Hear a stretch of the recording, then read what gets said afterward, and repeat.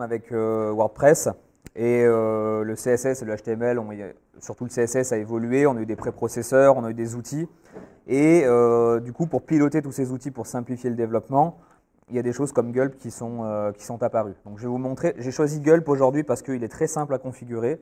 C'est copier-coller pour chacun de vos projets, ça ira beaucoup plus vite.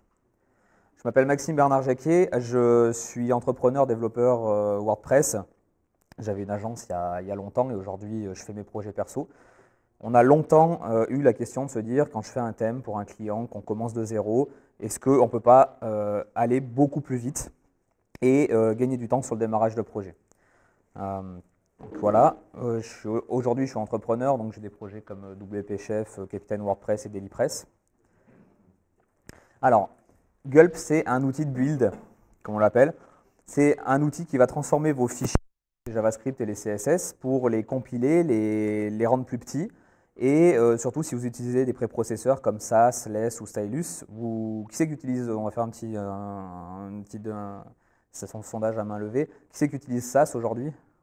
Ok. Euh, Less, moins. Et Stylus?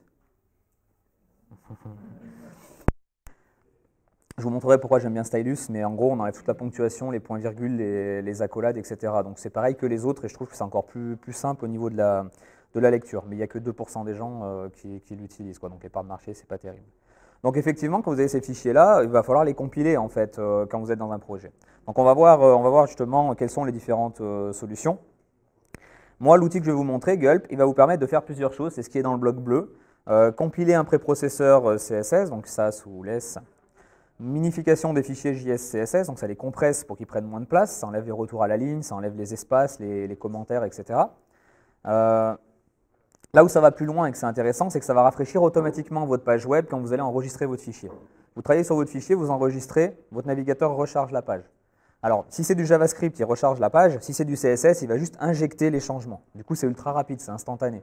C'est comme si on modifiait en fait directement dans l'inspecteur, sauf que cette fois, c'est persistant.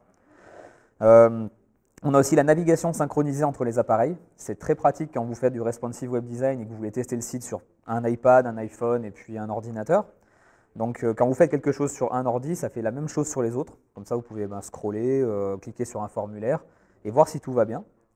Et puis ça rajoute les préfixes CSS pour euh, la rétrocompatibilité avec quand vous utilisez de nouvelles propriétés. En fait, vous n'avez pas besoin de mettre les préfixes CSS qui vont derrière, ça le fait tout seul pour vous et euh, des choses comme JSLint qui permettent de vérifier que votre JavaScript il est euh, correct au niveau du code, qu'il n'y a pas d'erreur, qu'il n'y a pas de, mauvaise syntaxe ou quoi que ce soit. J'utilise surtout pour les, quatre premiers, pour les cinq premiers points. Voilà, donc moi l'avantage préféré, c'est quand je développais mon, site, ça. J'ai un iPad, un iPhone, un MacBook et puis un, un iMac. Et du coup, il y avait, il y avait euh, donc quatre résolutions différentes. Et quand je, quand je mets à jour sur mon, sur mon code, automatiquement, ça, mettait à jour tous les, écrans en même temps. La navigation synchronisée, c'est quand je scroll, tout le monde scroll en même temps. ça, c'est vraiment super. quoi. On gagne du coup du temps. On pourrait synchroniser 50 appareils. Il y des agences, ils ont acheté tous les téléphones possibles, qu'ils ont mis en ligne euh, les uns, les uns sous les autres. Et du coup, ils, ils permettent de contrôler comme ça que tous leurs sites sont bien compatibles euh, avec le responsive. Alors, il y en a plein des, solutions comme ça. Moi, j'ai choisi Gulp. Avant, j'utilisais Brunch. Il y a Yarn, il y a Grunt, il y a Webpack aussi aujourd'hui, un peu plus usine à gaz. Euh, d'ailleurs, Kristen, euh, ce matin, a présenté Webpack. Je ne sais pas s'il y a quelqu'un qui était à la, conf. Donc euh, voilà, c'est un petit peu le même principe en fait. Moi, c'est la simplicité de configuration de, Gulp qui, m'a plu. Si vous êtes, comme moi, avant allergique à la ligne de commande, vous avez des alternatives sous forme de logiciel qui vous empêchent, qui vous évitent d'avoir à installer quoi que ce soit. Sur Mac, il y a CodeKit et sur euh, Windows, pros.io. Donc ça, c'est une capture de pré-pros justement. Ça vous permet en fait, vous faites glisser votre projet et vous allez configurer avec une interface visuelle. Je veux compiler mes fichiers, je veux utiliser SAS, euh, je veux que ça aille dans tel dossier quand j'enregistre, etc., etc. Donc c'est plutôt pas mal. Le seul truc que je reproche à ces logiciels, c'est que leur système de compilation est assez lent. Généralement, CodeKit, il prenait jusqu'à une seconde pour euh, réenregistrer le fichier et mettre à jour le navigateur alors qu'en ligne de commande pure, ça prend 100 euh, millisecondes maximum. Donc il y, a, des gains de vitesse jusqu'à 10 fois plus rapides. Donc on va avoir besoin d'un outil de ligne de commande pour, euh, pour faire la manip. Il y a iTerm sur Mac qui est un des plus connus. J'aime bien Hyperterm, moi, c'est l'icône qui est là-bas. Il, est, euh, il est plutôt un peu plus sexy, autant que peut-être une ligne de commande, bien sûr. Et sur Windows, il y a le PowerShell. Donc à la base, j'aime pas la ligne de commande parce que c'est c'est un peu geek, quoi. Je veux dire, quand on peut faire des clics au lieu de taper des textes, je préfère. Là, voilà, c'est super simple, donc il n'y aura pas de, pas souci à ce niveau-là. Ce qu'on va avoir besoin, c'est d'installer Node et NPM, le gestionnaire de paquets de, JavaScript, pour installer des, petites dépendances. Là aussi, encore une fois, c'est très simple. Node, c'est un logiciel Windows ou Mac, vous l'installez et euh, ça le fait. Euh, Node, c'est un, serveur JavaScript. Donc JavaScript, normalement, ça se passe dans le navigateur. Là, simplement, depuis que Node est sorti, ça permet de, faire un serveur JavaScript pour plein de choses. Il y en a qui font un vrai serveur de données en JavaScript. Nous, c'est simplement un serveur local sur notre ordinateur pour lancer des commandes, euh, comme compiler les fichiers, recharger le navigateur, etc. Donc, euh, ben, tout ce qui existe aujourd'hui comme librairie en JavaScript se retrouve sur euh, NPM. Il y a plus de 470 000 paquets disponibles. Et, donc voilà, tout ce qu'il y a besoin de savoir pour le, pour le moment là-dessus, on ne va pas trop s'étaler. Donc pour chaque nouveau projet, ce que je fais en fait, j'installe les paquets dont j'ai besoin par, grâce à la commande npm. Ça va tout s'installer dans un dossier, on va regarder ça après, notre module. Notamment, je lui dis que je veux le compilateur de SAS ou de Stylus pour, euh, pour ma part. Je veux le live reload, le, le fait que le navigateur recharge. Enfin, j'ai 3-4 modules que, que, je charge. Et après, dans votre projet, à la racine, vous allez avoir un gulp file qui va vous permettre, en fait, en quelques lignes de JavaScript, de dire bah, je veux que quand il y a tel ou tel type de fichier qui a été modifié, par exemple mon fichier SAS, eh ben, je veux que ça recompile mon fichier CSS, en fait. Voilà, c'est comme ça qu'on indique un petit peu toutes les tâches. Donc ça, on va le regarder en vrai juste après. Je vous le remettrai dans, l'article que je publierai, mais du coup, j'ai fait un petit euh, repo sur GitHub où Liam a un, thème très simple de base dans lequel euh, j'ai mis toute la configuration qui est prête à l'emploi de, de, Gulp. Je, vous le remets après, je vous montrerai le site. Donc, qu'est-ce qui change en fait dans un projet, alors pour moi, la racine du projet, c'est le thème. Vous êtes en train de faire un thème WordPress, donc ça se passe dans, le, dans WP Content, thème, le nom de votre thème. Et voilà, il y a trois fichiers euh, qui ont été rajoutés. Il y a le package.json qui va permettre de dire à NPM, c'est toi c'est ça qu'il faut installer. Le gulp c'est la configuration quand le serveur est lancé pour dire, ben, quand euh, tel fichier change, je compile tel fichier. Et quand vous avez installé vos dépendances, en fait, il va avoir un dossier node module qui va être créé, dans lequel il va installer tout ce qu'il a besoin pour tourner, en fait. Ce dossier, si vous faites du versionnement, il ne faut pas le versionner parce qu'il y a énormément de sous-dossiers, il est vite très très lourd. En fait, on l'ignore dans les, dans les projets. Je vous montrerai la commande après. Donc la, première fois, une fois que vous avez installé Node sur votre ordinateur, la première fois, en fait, il suffit euh, de, taper npm install et le nom du module qu'on veut. Donc bon, ça, c'est voilà, c'est on se renseigne un petit peu pour voir euh, quelles sont les configurations qu'on veut. J'ai ces cinq euh, modules-là que, que, je veux. Et à la fin, il y a un petit paramètre, le save dev. Ça veut dire que c'est des modules qui sont là que pour le développement. Ils ne seront pas là en production. que Gulp permet d'aller plus loin et de balancer des scripts quand vous allez euh, compiler votre, vos scripts à vous. Il va pouvoir rajouter des, librairies. Vous vous rappelez quand on faisait du jQuery, on en fait peut-être toujours encore un peu, euh, on allait chercher des librairies à la main en fait. On veut chercher un truc de slider, bon, on chargeait à la main le JavaScript et le CSS à la base, le système de gestion de paquets de NPM, c'est pour faire ça, pour l'automatiser, pour l'intégrer dans vos projets sans avoir à aller le chercher à la main. Une fois que vous avez installé vos, premiers modules, ça crée un fichier, donc le package.json, avec les dev dependencies, donc ce qui va être installé en dev.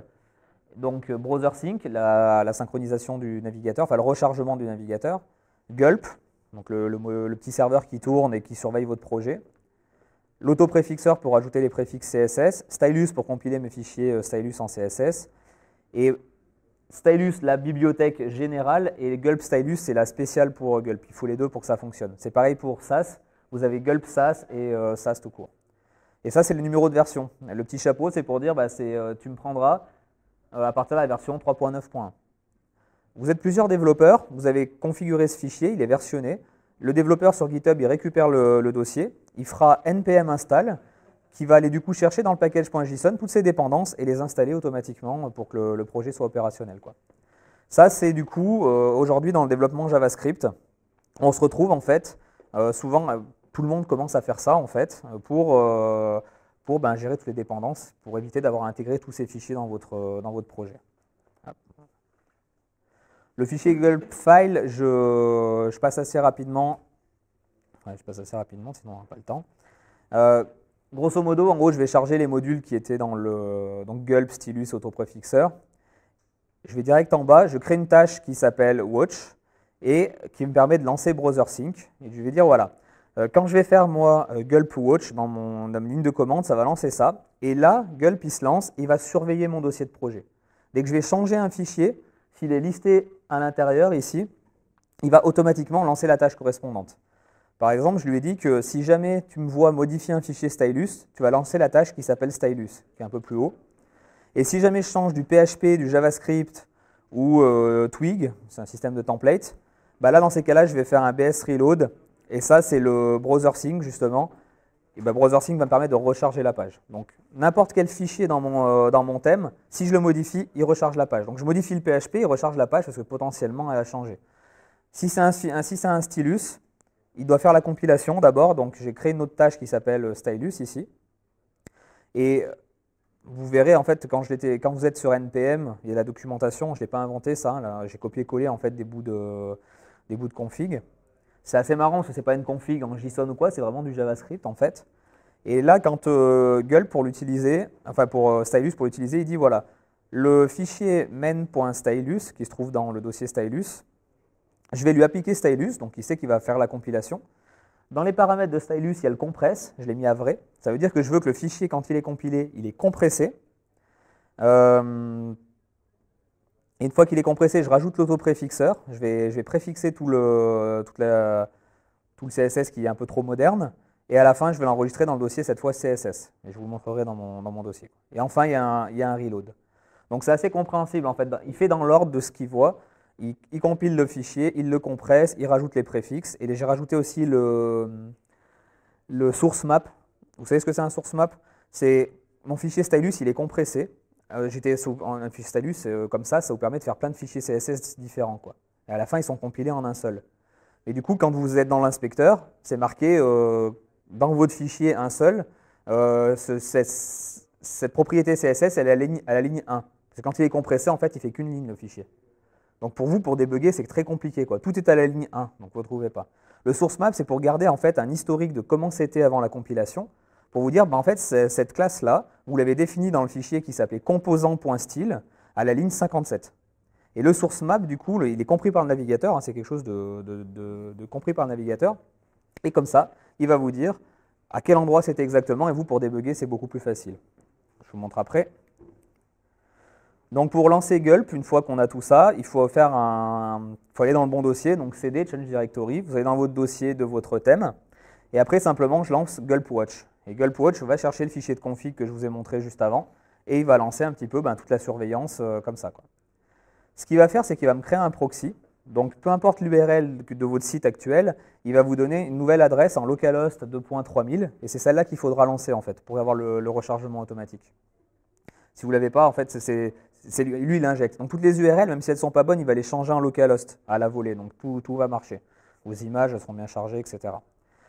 Et euh, du coup, s'il y a quelqu'un d'autre sur le réseau qui veut accéder à la même, euh, sur le même site, bah, il y aura l'adresse euh, du réseau, le 192.168. quelque chose, et puis du coup, il pourra accéder aussi au, truc.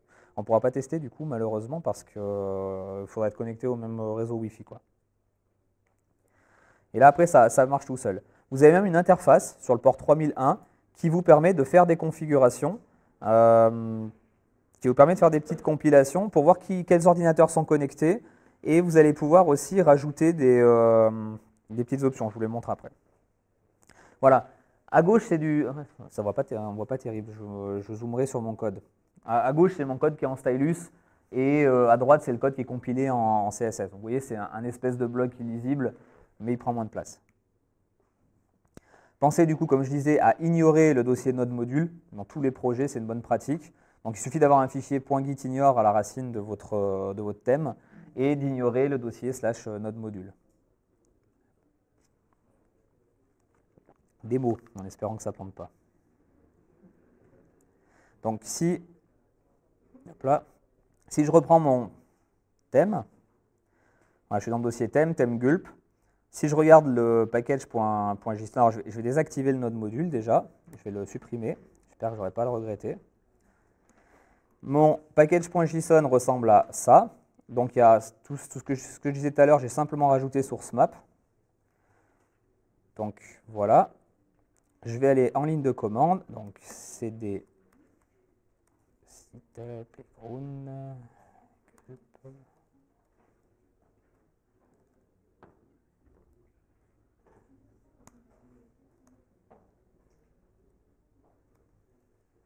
oui. WP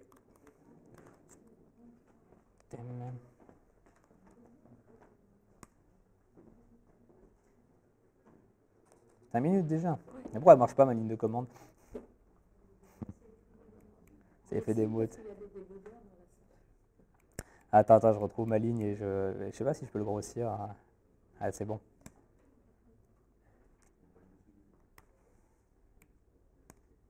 Voilà, là je suis arrivé dans le, dans le dossier et là je vais faire un npm install. Donc là automatiquement, il va aller chercher mon fichier euh, avec les, différents modules et il en installe. Vous voyez qu'il en installe pas mal en fait à chaque fois au passage. Euh, ça vous le faites qu'une seule fois en début de projet en fait. Hein. Après c'est bon, ça fonctionne. Euh, donc là, je retourne ici, on a bien un dossier node module et regardez un petit peu tout ce qu'il a installé en fait. C'est parce que chaque module installe ses propres dépendances. Euh, il y a par exemple une bibliothèque qui s'appelle Lodash, qui est plein de petites fonctions qui sont utiles pour ceux qui font du JavaScript. Et toutes ces bibliothèques l'utilisent. Donc, ils chargent aussi Lodash, qui va charger un autre truc. C'est un peu comme quand vous faites du Linux ou quoi, vous téléchargez des paquets qui, ont besoin de dépendance à d'autres paquets. Donc là, ça se fait tout seul, ça marche bien. Donc là, on est plutôt pas mal. Euh, je vais faire un, du coup un gulp watch. Voilà. Et il me dit que je suis opérationnel sur le port 3000. Ok, pas de souci. Donc là, c'est mon site en mode, euh, bon, c'est l'adresse euh, point local euh, habituelle. Je vais du coup faire un... Oups. Localhost 3000. En attendant, je ne sais pas pourquoi, mais en ce moment, mon ordi, ça rame. Pour charger un site en local, c'est juste affreux. Euh, si je regarde mon, mon gulp file, le seul truc que j'ai rajouté par rapport à ce que je montrais tout à l'heure, c'est dans Stylus, en fait, je rajoute le source map init et à la fin un source map.write. Euh, ça, je l'ai pris dans la doc aussi. Ils expliquent qu'il faut le mettre comme ça. en fait, il faut l'encapsuler avant et après qu'il fasse la compilation pour garder les, les deux versions. Voilà, c'est un fichier qui fait au final 39 lignes et d'un projet à l'autre, je ne change rien. Si la seule chose qu'il faut changer, c'est ici, c'est l'adresse de votre site, l'adresse originale. Donc moi, gulp.local, comme ça, il sait ce qu'il doit transformer. Gulp.local, il le transforme en localhost. Donc, là, voilà, je suis sur localhost 3000, euh, ça marche. On va faire un petit changement dans le CSS quand même. Et juste, voilà, dans BrowserSync, en fait, ils vous fournissent une interface, donc c'est le port 3001 généralement. Et il vous permet de faire des trucs comme euh, le remote debug et euh, un historique des pages visitées, on peut synchroniser la, navigation, le scroll, les clics et les submits de formulaires. Ça, c'est quand vous avez plusieurs ordinateurs connectés au même site. Si, comme je disais tout à l'heure, si vous scrollez sur l'un, ça scrollera sur les autres. Donc vous pouvez l'activer. C'est juste que c'est un petit peu lourd en termes de synchro sur votre réseau, c'est pour ça qu'ils n'activent pas tout par défaut. Vous pouvez simuler un réseau pourri. Moi, j'habite à la campagne, donc euh, techniquement, je n'ai même pas besoin de le faire. Le réseau l'est déjà, quoi. je suis en local, donc non. Euh, et euh, voilà, overview. Euh, là, s'il y avait d'autres ordinateurs connectés, je les verrais. Donc voilà, donc euh, on peut se connecter à BrowserSync de cette manière. Donc là, maintenant, je vais prendre mon petit code. Donc, pour vous montrer Stylus, en fait, j'ai un fichier j'ai un fichier principal, main, qui va appeler des autres fichiers. Donc j'ai le normaliseur de CSS, j'ai les variables d'un côté, j'ai les, styles basiques d'un autre côté et euh, j'ai dû mettre du coup le, site. Voilà. En fait, ce que j'aime bien, regardez, c'est super simple. Il n'y a, pas de, a pas de ponctuation, il n'y a rien, c'est tout fait avec les, tabulations. Pour les media queries, on peut faire des mix-in. Ça, c'est ma media query en fait. J'ai des media queries pour le desktop, pour les tablettes et les mobiles, donc quand on n'est pas à l'inverse euh, sur le desktop. Et je trouve que la lisibilité, elle est, elle est vraiment super claire. Quoi. Et euh, du coup, on s'y retrouve bien. Donc, sur mon petit bouton, il est tomato. Tac. Voilà, donc si je fais blue, non. C'est fini. Ah oui, tu te l'avais Non, mais euh, non, c'est pas. À deux minutes, pas de questions sinon. Ouais, j'ai presque fini de toute façon. R 29. Putain, ouais, j'ai mis la. C'est la, Bon, j'ai mis blue. Si normalement je reviens là, c'est bleu. Bon, par contre, il n'y a pas. Si, allez, on va le faire. Euh, on, va, faire le luxe d'avoir faire style qu'on a deux écrans. Comme ça. Voilà. Et du coup,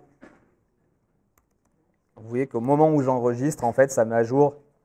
Alors en réalité, ça va plus vite. Hein. Je ne sais juste pas pourquoi. Ces derniers jours, mon ordinateur, il n'en a absolument rien à, faire. Voilà, c'est passé, euh, passé, euh, passé au rouge. Et du coup, ben, au moins, votre truc, il est bien. Et dernière chose, du coup, tac. Quand je vais regarder avec l'inspecteur, je vais choper mon bouton, voilà.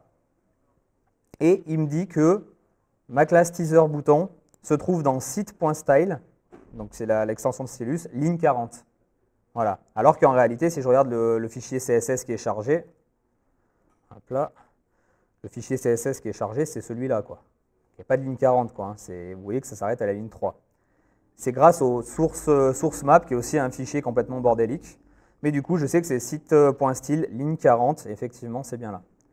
Donc avec ces petits outils, on est, euh, je crois que j'avais ah, avec cet outil, on est vraiment bien parce que c'est inclus dans votre, dans votre thème. Vous avez juste à démarrer un npm install la première fois, puis après un gulp watch. Donc ça, tourne en ligne de commande, et après ça fonctionne tout seul. Quoi.